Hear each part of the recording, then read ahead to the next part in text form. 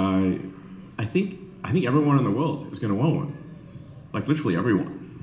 Um, and and then there'll be obviously uh, uh, robots in industry, um, making stuff, and so I mean I, I think the ratio of humanoid robots to humans will, will probably be at least two to one, something like that, one to one for sure. So which means like somewhere on the order of 10 billion uh, humanoid robots, um, maybe maybe 20 or 30.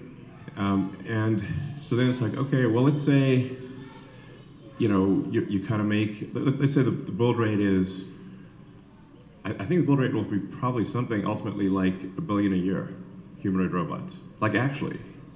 Um, and if Tesla just has a 10% share of that, and it might be a lot more than 10%, um, and there's, you know, we make like 100 million Optimus units a year, uh, just, I mean, for reference, the auto industry is roughly 100 million vehicles per year.